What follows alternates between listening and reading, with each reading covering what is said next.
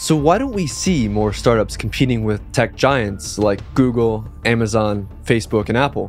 These companies were built off the backbone of a free and open internet, but now they're doing everything they can to make sure that no one can fairly and freely compete with them.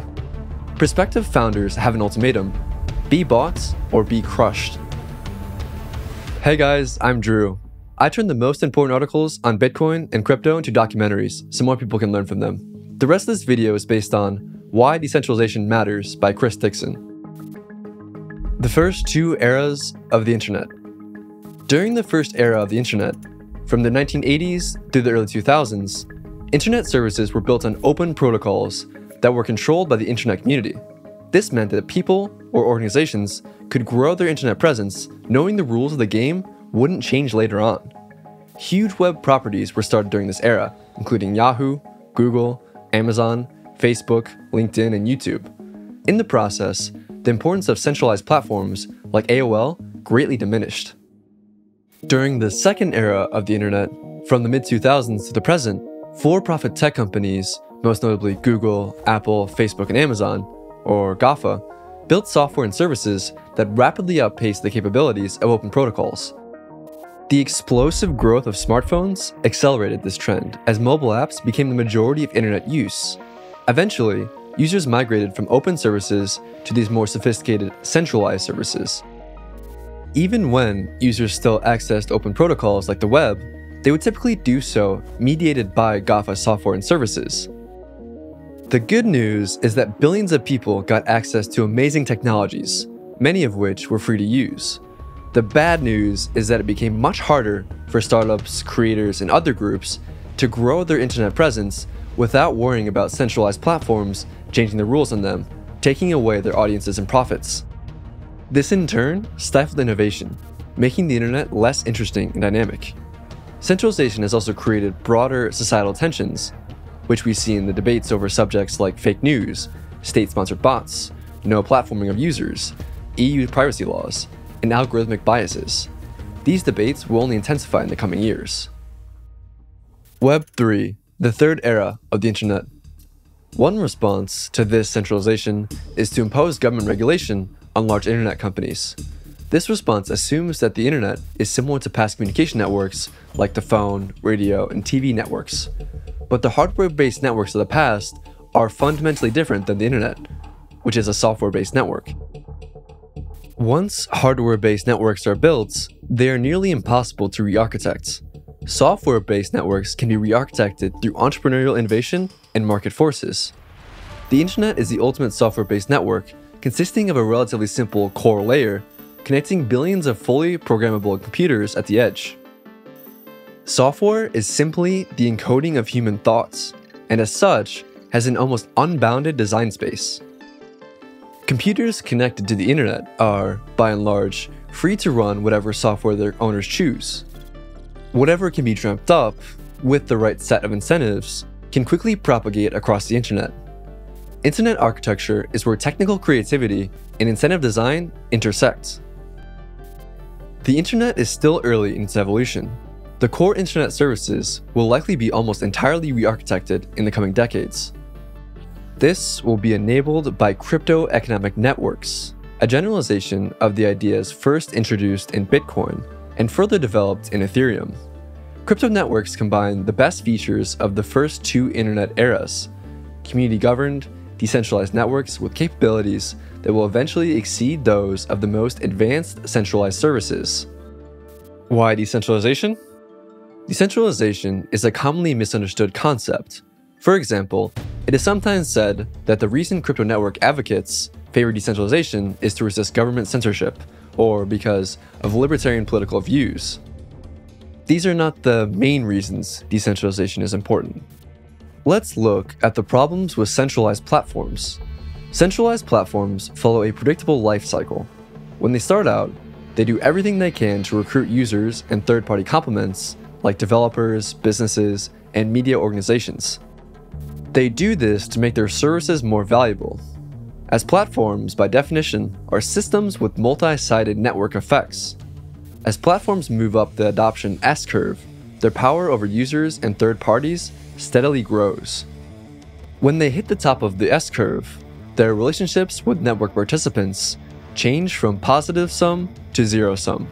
The easiest way to continue growing lies in extracting data from users and competing with complements over audiences and profits. Historical examples of this are Microsoft versus Netscape, Google versus Yelp, Facebook versus Zynga, and Twitter versus its third party clients. Operating systems like iOS and Android have behaved better, although still take a healthy 30% tax, reject apps for seemingly arbitrary reasons, and subsume the functionality of third party apps at will. For third parties, this transition from cooperation to competition feels like a bait and switch. Over time, the best entrepreneurs, developers, and investors have become wary of building on top of centralized platforms. We now have decades of evidence that doing so will end in disappointment. In addition, users give up privacy, control of their data, and become vulnerable to security breaches. These problems with centralized platforms will likely become even more pronounced in the future. Enter crypto networks. Crypto networks are networks built on top of the internet that 1. use consensus mechanisms such as blockchains to maintain and update state. 2. use cryptocurrencies or coins slash tokens to incentivize consensus participants or miner slash validators and other network participants. Some crypto networks, such as Ethereum, are general programming platforms that can be used for almost any purpose. Other crypto networks are special purpose, for example, Bitcoin is intended primarily for storing value, Golem for performing computations, and Filecoin for decentralized file storage. Early internet protocols were technical specifications created by working groups or nonprofit organizations that relied on the alignment of interests in the internet community to gain adoption. This method worked well during the very early stages of the internet, but since the early 1990s, very few new protocols have gained widespread adoption. Crypto networks fix these problems by providing economic incentives to developers, maintainers, and other network participants in the form of tokens. They are also much more technically robust. Crypto networks use multiple mechanisms to ensure that they stay neutral as they grow, preventing the bait and switch of centralized platforms. First, the contract between crypto networks and their participants is enforced in open source code. Second, they are kept in check through mechanisms for voice and exit. Participants are given voice through community governance, both on chain via the protocol and off chain via the social structures around the protocol. Participants can exit either by leaving the network and selling their coins, or in the extreme case, by forking the protocol. In short, crypto networks align network participants to work together toward a common goal the growth of the network and the appreciation of the token. This alignment is one of the main reasons Bitcoin continues to defy skeptics and flourish, even while new crypto networks like Ethereum have grown alongside it. Today's crypto networks suffer from limitations that keep them from seriously challenging centralized incumbents. The most severe limitations are around performance and scalability. The next few years will be about fixing these limitations and building networks that form the infrastructure layer of the crypto stack. After that, most of the energy will turn to building applications on top of that infrastructure. How decentralization wins. It's one thing to say decentralized networks should win, and another thing to say they will win. Let's look at specific reasons to be optimistic about this. Software and web services are built by developers, there are millions of highly skilled developers in the world. Only a small fraction work at large technology companies, and only a small fraction of those work on new product development. Many of the most important software projects in history were created by startups or by communities of independent developers. No matter who you are, most of the smartest people work for someone else.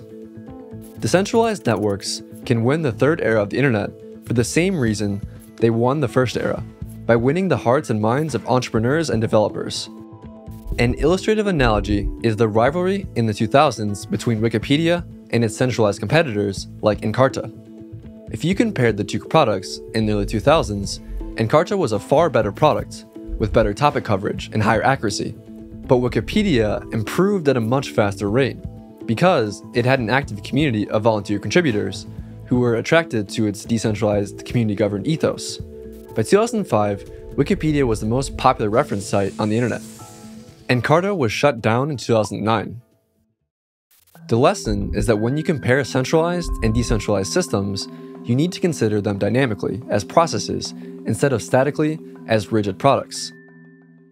Centralized systems often start out fully baked, but only get better at the rate at which employees at the sponsoring company improve them.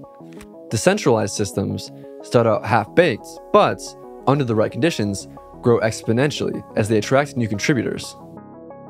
In the case of crypto networks, there are multiple compounding feedback loops involving developers of the core protocol, developers of complementary crypto networks, developers of third party applications, and service providers who operate the network.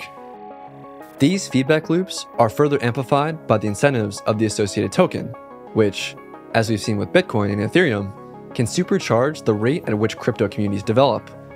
The question of whether decentralized or centralized systems will win the next era of the internet reduces to who will build the most compelling products, which in turn reduces to who will get the more high quality developers and entrepreneurs on their side. GAFA has many advantages, including cash reserves, large user bases, and operational infrastructure. Crypto networks have a significantly more attractive value proposition to developers and entrepreneurs. If they can win the hearts and minds, they can mobilize far more resources than GAFA and rapidly outpace their product development. If you asked people in 1989 what they needed to make their life better, it was unlikely that they would have said a decentralized network of information nodes that are linked using hypertext. Centralized platforms often come bundled at launch with compelling apps. Facebook had its core socializing features, and the iPhone had a number of key apps. Decentralized platforms, by contrast, often launch half baked and without clear use cases. As a result, they need to go through two phases of product market fit. One, product market fit between the platform and the developers slash entrepreneurs who will finish the platform and build out the ecosystem. And two, product market fit between the platform slash ecosystem and end users. This two stage process is what causes many people, including sophisticated technologists, to consistently underestimate the potential of decentralized platforms. The next era of the internet. Decentralized networks aren't a silver bullet that will fix all the problems on the internet, but they offer a much better approach than centralized systems. Compare the problem of Twitter spam to the problem of email spam.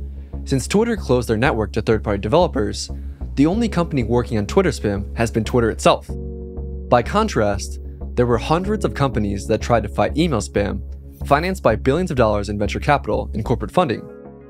Quick side note my Twitter account was recently banned in the latest Twitter anti spam wave, and I can't possibly appeal it, so thanks for that, Twitter.